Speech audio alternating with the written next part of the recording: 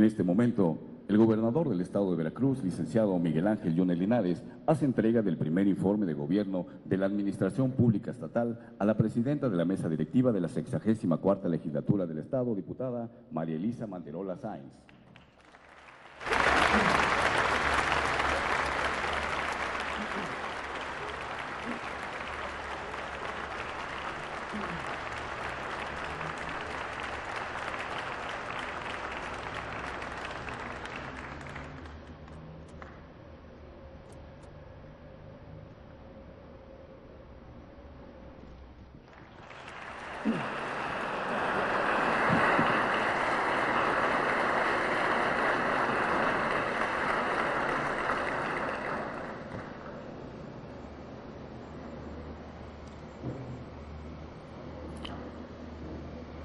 Continuación, el licenciado Miguel Ángel Yunes Linares, gobernador constitucional del Estado de Veracruz de Ignacio de la Llave, dirigirá un mensaje a las y los veracruzanos.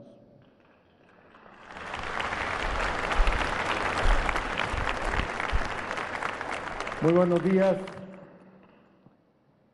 Muy distinguida diputada María Elisa Manterola Sáenz, presidenta de la mesa directiva del Honorable Congreso del Estado. Magistrado Edel Humberto Álvarez Peña, presidente del Honorable Tribunal Superior de Justicia. Diputada Dulce María García López, vicepresidenta de la mesa directiva del Congreso del Estado. Diputado Armando López Contreras, secretario de la mesa directiva del Honorable Congreso del Estado. Distinguida coordinadora y coordinadores de los grupos parlamentarios. Muy queridas diputadas, diputados, muy estimadas amigas, muy estimados amigos. Querido pueblo de Veracruz. Hoy presenté ante el Congreso del Estado el informe de las actividades del Poder Ejecutivo durante el primer año de gobierno. Lo hago personalmente, en una ceremonia republicana, sobria y austera, como corresponde a los nuevos tiempos de Veracruz. Tiempos de auténtica división de poderes, en los que el Congreso ha pasado a ocupar el lugar que desde siempre le correspondía en la vida de Veracruz Hoy el Congreso es un poder que equilibra y controla. Su voz se escucha, sus decisiones cuentan. Esto es parte sustantiva del cambio que en un solo año hemos logrado los veracruzanos.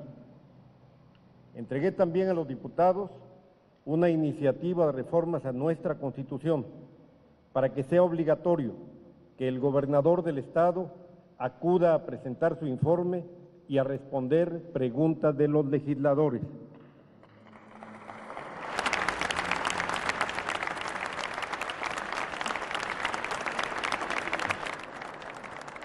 En tanto se procesa esta iniciativa, he solicitado también que el Congreso me permita comparecer a una sesión del Pleno para comentar con los legisladores el contenido de este primer informe una vez que se impongan de su contenido. Así, en diálogo con las distintas fuerzas políticas aquí presentes, podremos avanzar en la construcción de un mejor Veracruz. El informe de gobierno se contiene en varios tomos que ya están en poder del Congreso del Estado. Este es un mensaje para recordar de dónde venimos, dónde estamos y hacia dónde vamos en 2018. Debemos informar en contexto, con honestidad y pertinencia, no magnificar ni subestimar. Nuestra sociedad es otra. Hoy las audiencias son más críticas, demandan transparencia. La información es instantánea. Esto ha contribuido a la construcción de una sociedad mejor preparada, exigente, demandante, siempre presente. El cambio fue esencial para lograr ese importante avance, social, porque dimos un vuelco a la postura del gobierno frente a los medios de comunicación. De los intentos de control de la información, pasamos al respeto absoluto a las garantías constitucionales de expresión y difusión de las ideas. Gracias al cambio, hoy el gobierno respeta la integridad de los periodistas y no interfiere ni intenta frenar el libre ejercicio del periodismo. Soy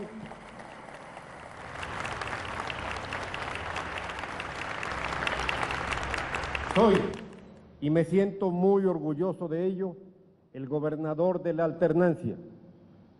Los veracruzanos logramos romper la continuidad durante más de 80 años de un solo partido en el poder. En 2016 hicimos historia. Los veracruzanos me dieron su confianza y trato de responder a la misma entregando todo mi tiempo, todo mi esfuerzo, todos mis conocimientos para lograr lo que todos deseamos, un Veracruz justo, seguro, limpio, democrático, vigoroso, que sea el mejor lugar para vivir y para crecer con armonía y felicidad. Decidí anunciar mi informe recordando el pasado reciente que sufrió Veracruz para oponerme así a los que buscan la amnesia colectiva, el perdón y el olvido. En mi decisión de hacerlo, en mi voz expresada de esa manera, están las voces de millones de veracruzanos que no quieren ni perdón ni olvido, que quieren justicia. No fui electo para ser complaciente y cómplice del pasado, fui electo para lograr el cambio. Hace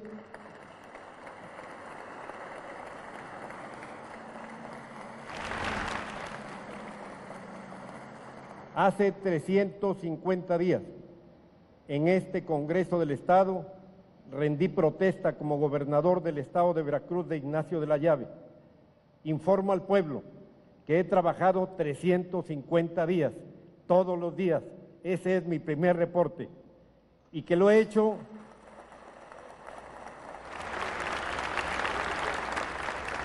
y que lo he hecho con todas mis capacidades y también con todo el corazón, porque amo a Veracruz, porque me duele la situación que vivimos y porque creo que todos tenemos que hacer lo que sea necesario para superar esta historia.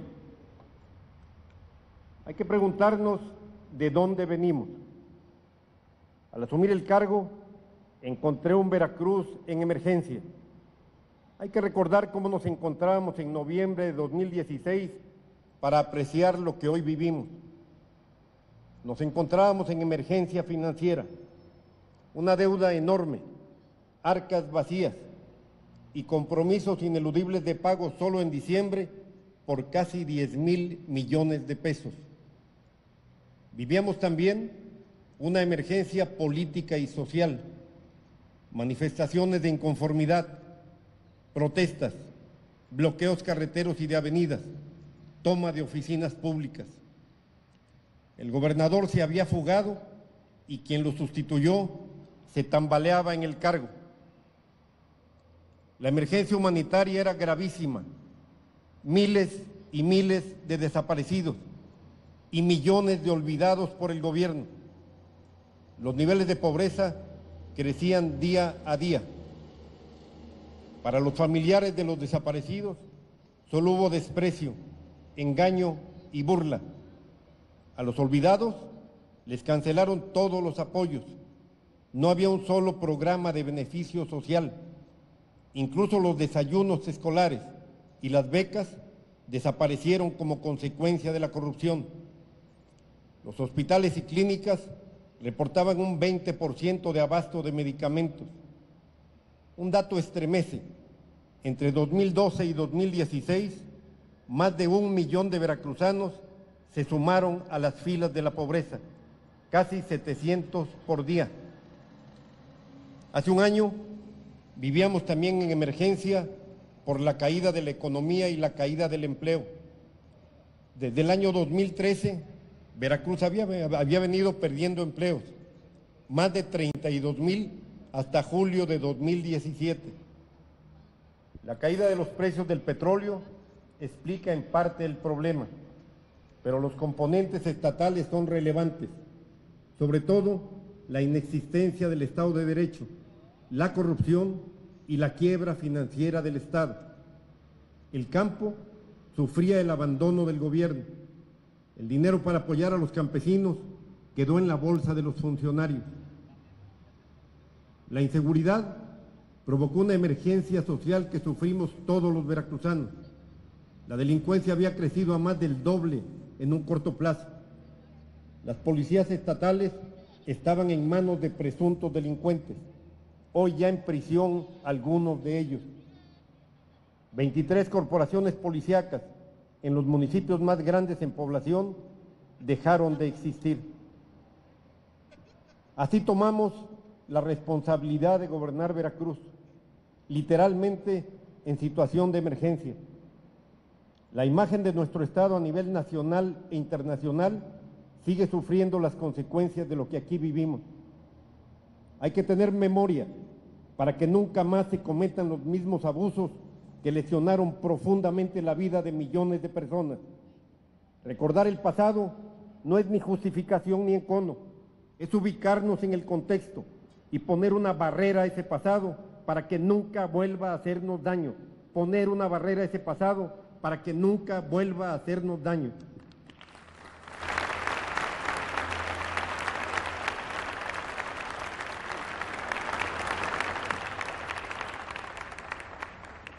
¿Dónde estamos hoy?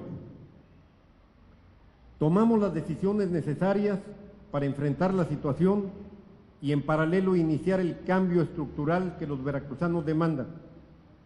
Hoy, después de 11 meses y medio de gobierno, podemos empezar, empezar a percibir los primeros resultados del cambio.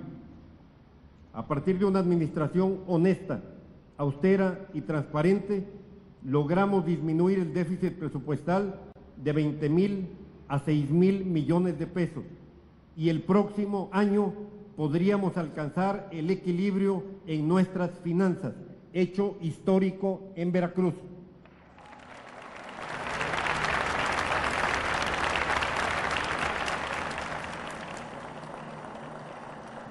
A todos consta que cumplimos con puntualidad y con rigor nuestros compromisos de pago con todos los trabajadores, maestros, médicos, enfermeras, policías, así como con los pensionados y jubilados.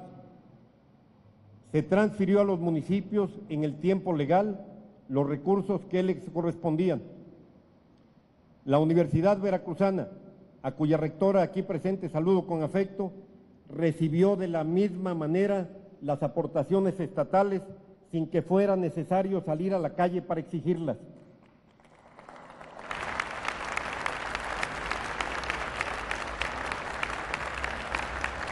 Nuestra universidad recibirá el próximo año 25% más que el presupuesto original autorizado para este año, cifra que corresponde al 3% del presupuesto total del Estado y que paulatinamente se irá incrementando hasta llegar en 2023 al 4%, tal y como lo dispone la reforma constitucional aprobada por unanimidad en este Congreso del Estado. Mi reconocimiento a los diputados.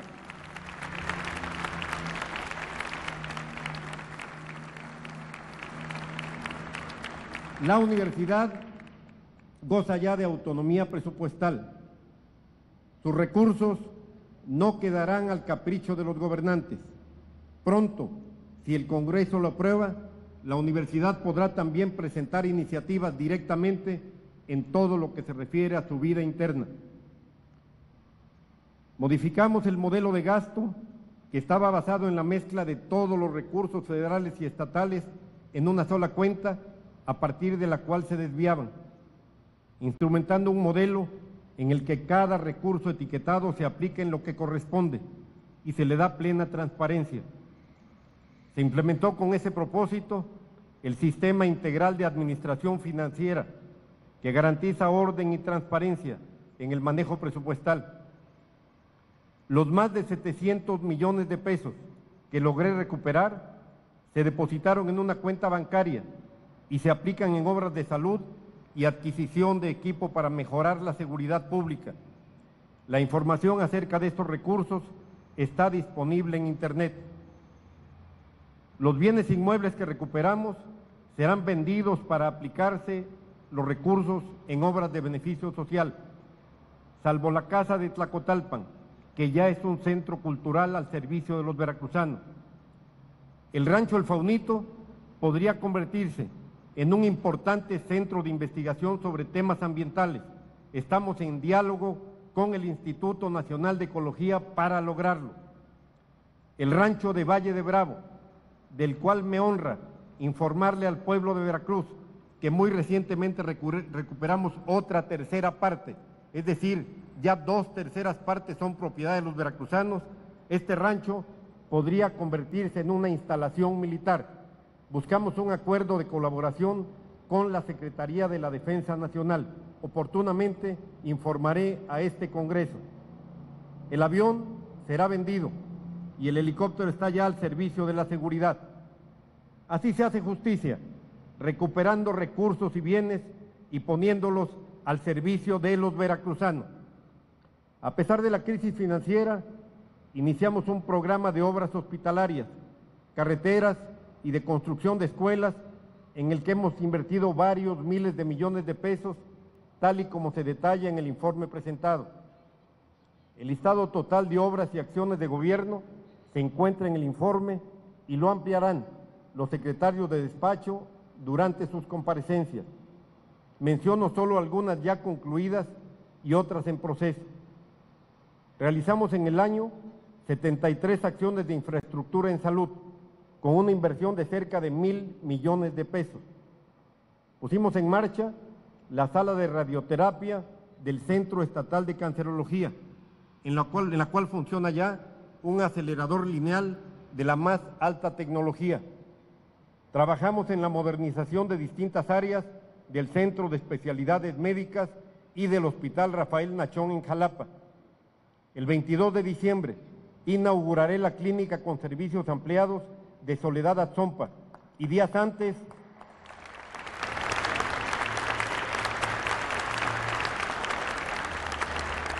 y días antes la remodelación integral del Hospital de Tlaquilpa, ambos en la Sierra de Songolica. El Hospital Infantil de Veracruz, antigua torre pediátrica de muy mala memoria, tiene ya un 80% de avance. Estará concluido en las primeras semanas de 2018. Será el mejor y más moderno de todo el sureste del país.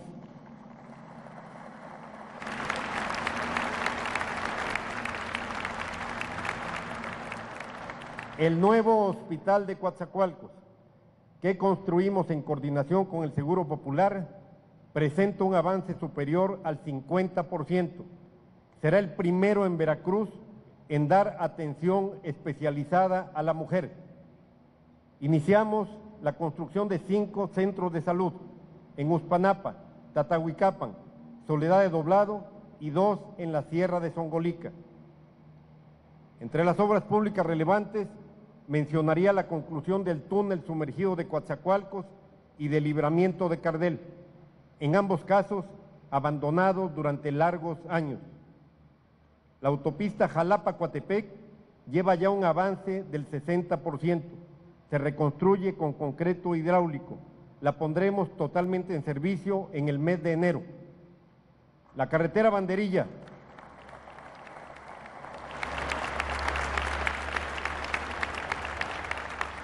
La carretera Banderilla, Naulinco, Chiconquiaco, Misantla, estará concluida en las primeras semanas del año próximo. Trabajamos en la reconstrucción de la carretera Autopista Córdoba, Potrero Atoyac, en la Poza Rica Cazones y en muchas otras en distintas regiones. Me da mucho gusto informar a este Congreso y al pueblo de Veracruz que a finales de este mes iniciaremos la reconstrucción de la autopista Minatitlán-Coatzacoalcos vía Las Matas en un esquema de coordinación con la Secretaría de Comunicaciones y Transporte. Informar también que antes de fin de año iniciaremos otras de gran importancia.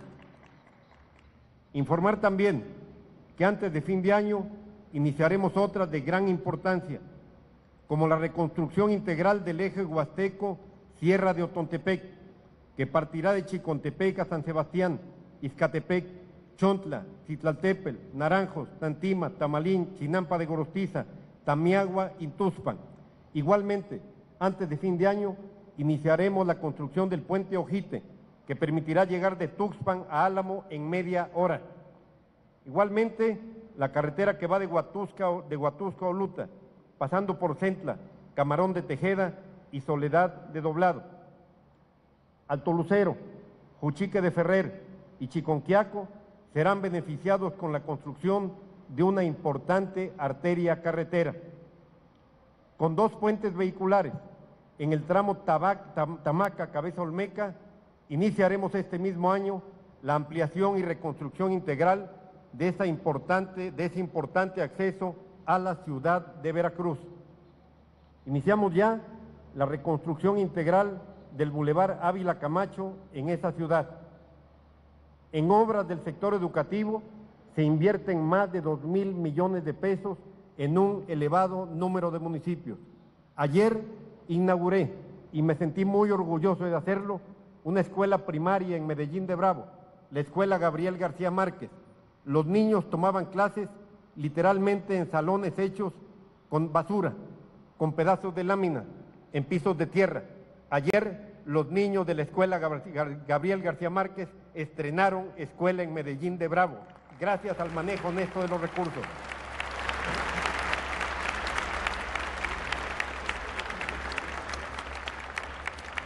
Menciono solo algunas de estas obras, todas asignadas con base en la ley y sometidas a procesos de transparencia y calidad. Administramos con honestidad los recursos de los veracruzanos. Por eso, a pesar de la crisis, pudimos iniciar y concluir obras importantes. Me siento muy orgulloso de, de, poder afirmar que al día de hoy no hay una sola denuncia por corrupción en contra de ningún funcionario del gobierno del Estado. Eso es parte esencial del cambio.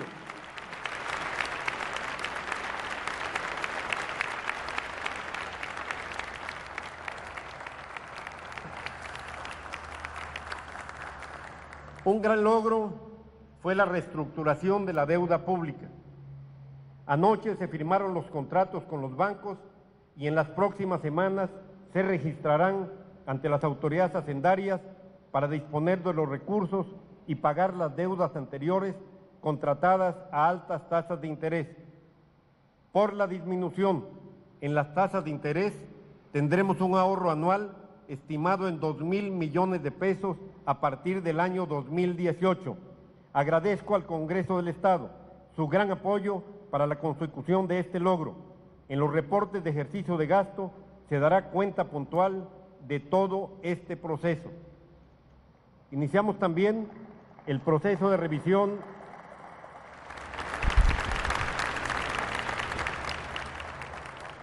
Iniciamos también el proceso de revisión de la deuda con proveedores, analizando los documentos que acreditan su derecho a exigir un pago.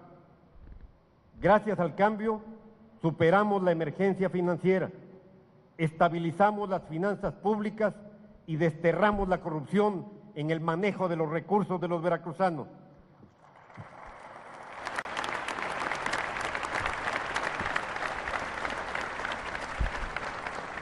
La emergencia política y social se atendió en dos vías, restaurando la vigencia del Estado de Derecho y dialogando con intensidad y con frecuencia.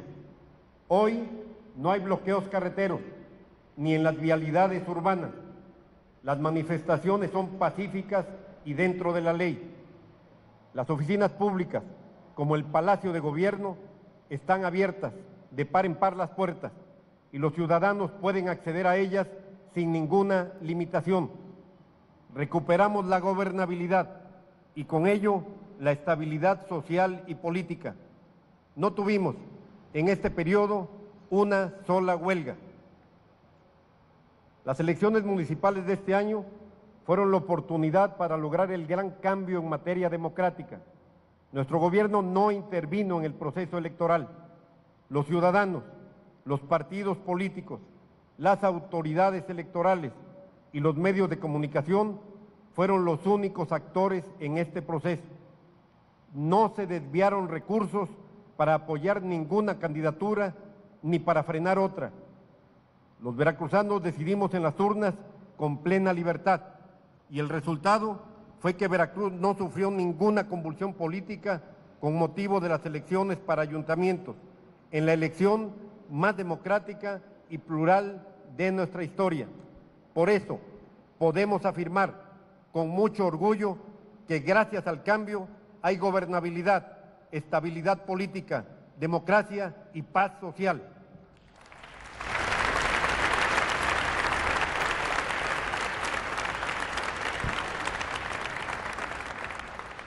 La emergencia humanitaria se enfrentó dando prioridad en el gasto público a la atención de los más necesitados. Se implementó el programa Veracruz Comienza Contigo para atender con una canasta alimentaria cada mes a 300 mil familias. A finales de este año, la cifra aumentará a 600 mil familias. Se reanudaron los desayunos escolares y los programas de becas. El abasto de medicamentos subió del 20 a más del 80%. Gracias al cambio, los sectores más pobres de la población reciben el apoyo al que tienen derecho y vamos superando la emergencia humanitaria. Los desaparecidos y el agravio causado a su familia y a la sociedad son tema prioritario para nuestro gobierno. Este Congreso reconoció el año pasado con el premio Adolfo Ruiz Cortines el valor y la entereza de quienes luchan por encontrarlos. Han encontrado en nuestro gobierno la mano solidaria y el compromiso de seguir luchando juntos para hacer justicia.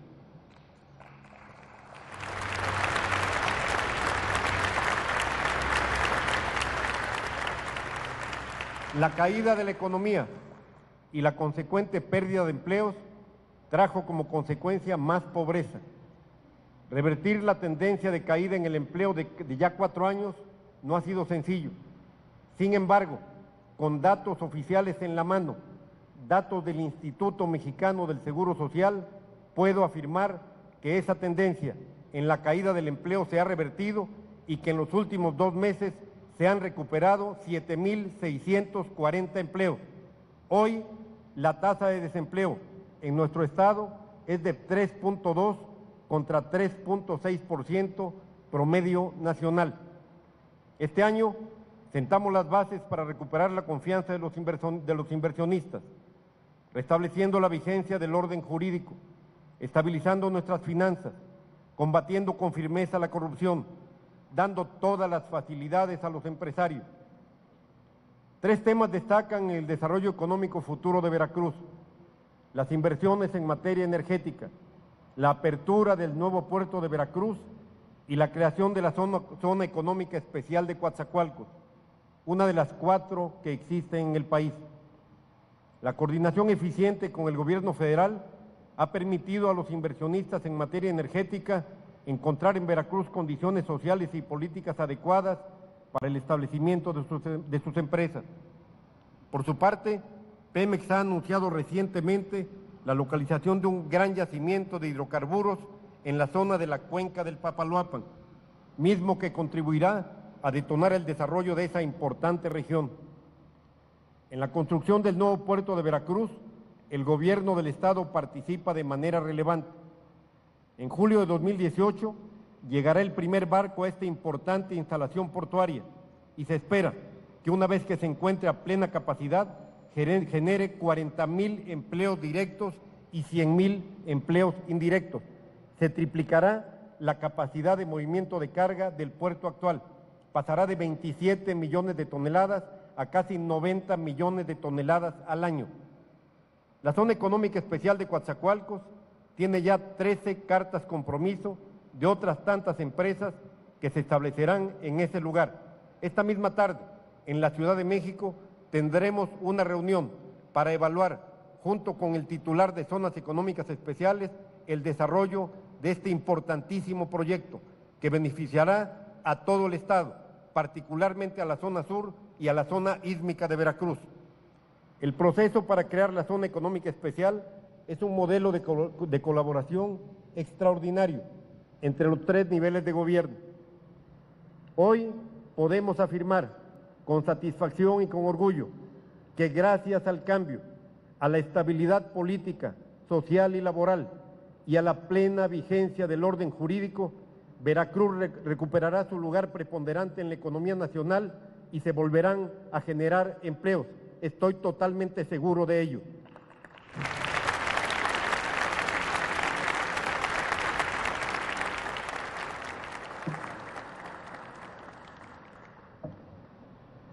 La inseguridad se mantiene como un problema grave a pesar de todos los esfuerzos que de manera conjunta llevamos a cabo el gobierno federal y el gobierno del Estado. De acuerdo a datos oficiales del Sistema Nacional de Seguridad Pública, en 2017 se ha incrementado la delincuencia en todo el país. Veracruz ha experimentado el mismo problema. Ha crecido la actividad delictiva, pero también hay más confianza en las instituciones y se presentan más denuncias que antes. Por ello, las estadísticas se han modificado. Las proyecciones de incidencia delictiva señalan que este año volveremos a ocupar el lugar 12 en número, absoluto de delitos cometidos y el lugar 28 midiendo la incidencia por cada 100.000 habitantes.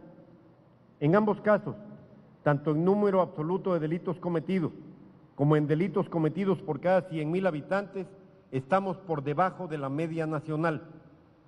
En delitos cometidos por cada 100.000 habitantes, la media nacional es de 1.142. En Veracruz es de 471. Sin embargo, reconozco, asumo que la preocupación social es altísima y comprensible.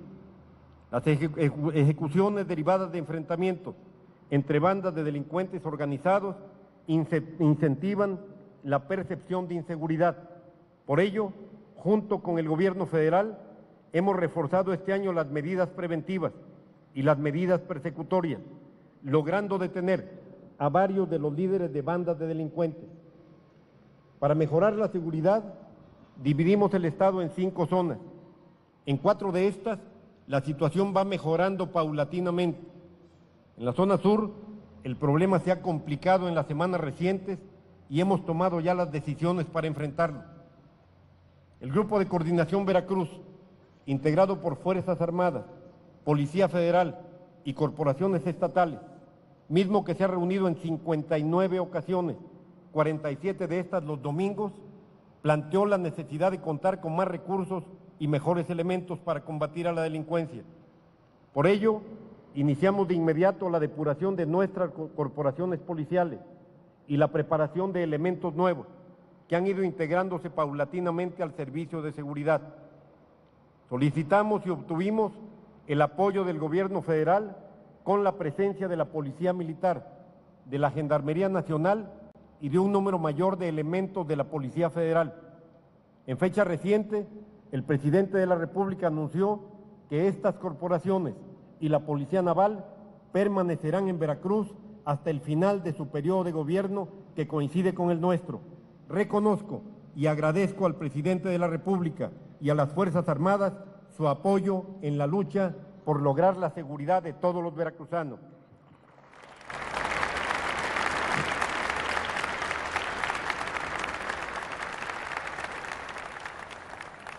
Estamos en proceso de adquisición de 300 patrullas. Actualmente hay 324 funcionando. A la fecha hemos entregado ya 100 junto con 85 motocicletas y 20 drones. Concluimos ya el diseño del sistema estatal de videovigilancia y arrancamos su implementación con el C5 y de la zona conurbada Veracruz, Boca del Río, Medellín, Alvarado. Se modernizarán los C4 con nueva tecnología. En los próximos seis meses pasaremos de contar con de 180 cámaras de videovigilancia en todo el estado a casi 7 mil cámaras. La inversión en seguridad pública será histórica. Al concluir la administración, habremos invertido más de mil millones de pesos para adquirir equipo y tecnología. Trabajamos ya en la creación de policías municipales y metropolitanas. Quiero reconocer a los presidentes municipales de Córdoba y Coatzacoalcos su buena disposición tienen ya un muy buen avance. Es un proceso complejo, no solo en la parte operativa, sino también en la financiera, porque los municipios que dejaron de sostener policías municipales, al liberarlos de esa responsabilidad, destinaron los recursos a otras actividades. Pero los municipios tendrán que cumplir su obligación constitucional de participar en tareas de seguridad. No es potestativo es responsabilidad establecida en el artículo 21 de la Constitución. Tendrán que participar en tareas de seguridad pública.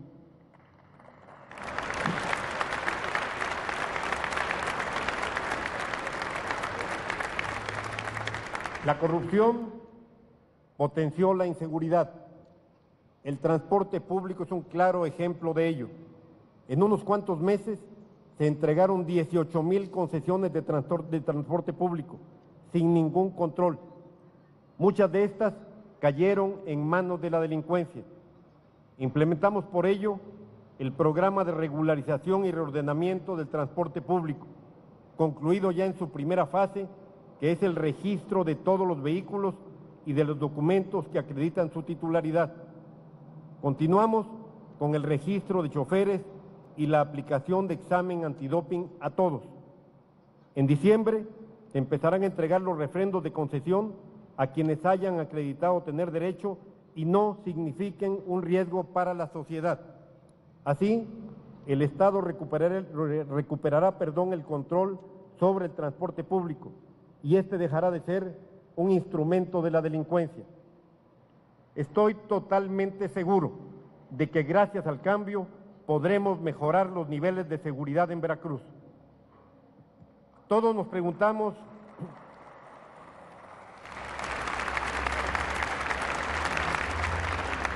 Todos nos preguntamos qué nos espera en 2018.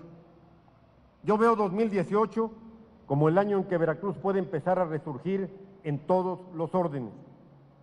Mantendremos la estabilidad política y social en un año de gran movilidad como consecuencia de los distintos procesos electorales. Reitero mi compromiso de dejar un presupuesto equilibrado y de no agregar ni un peso a la deuda pública de Veracruz.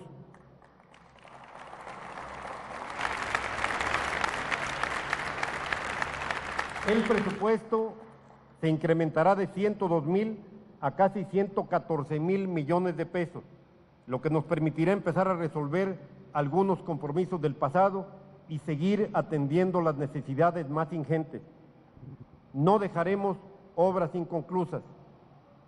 En materia de seguridad pública, concluiremos la instalación del sistema estatal de videovigilancia y avanzaremos en la creación de policías municipales y metropolitanas.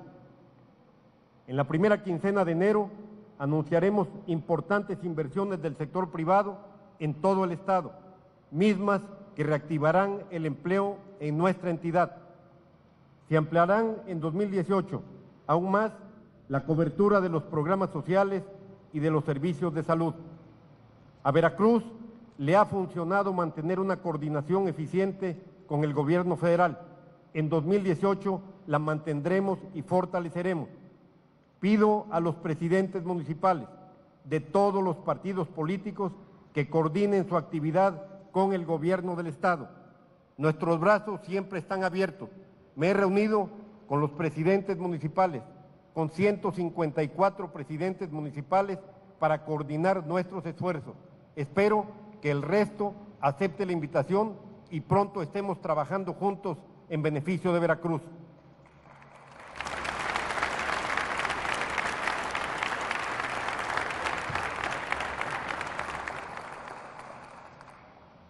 Queridos veracruzanos, Veracruz va en el camino correcto para superar la crisis. El cambio ha sido la base. Tenemos que perseverar. Para hundir un barco bastan unos minutos. Para sacarlo del fondo del mar se requieren a veces años. Estamos tratando de rescatar al barco del fondo del mar. Muchos de quienes hoy señalan que no hemos resuelto todos los problemas son los mismos que los crearon. Son los que aplaudían a los corruptos que gobernaron Veracruz.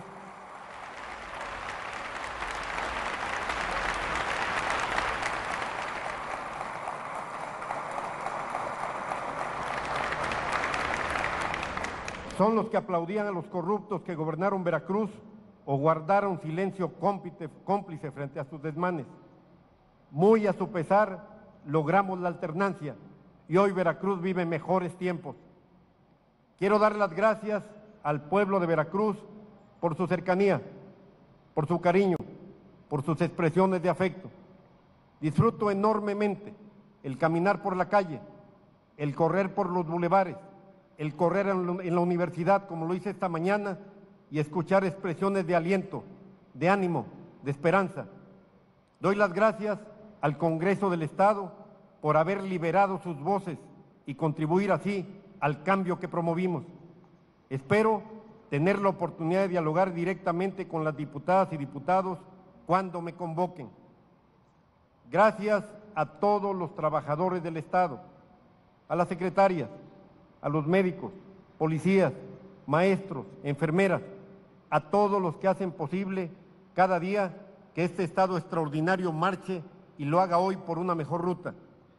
Gracias a mis colaboradores cercanos. Nos comprometimos a entregar todo nuestro tiempo, dedicación y esfuerzo a Veracruz y lo han cumplido. Para finalizar, una confesión. Estos 350 días he dormido poco y he trabajado mucho, pero he disfrutado enormemente, con enorme intensidad, el gran, el gran honor de servirle a los veracruzanos. Muchas gracias.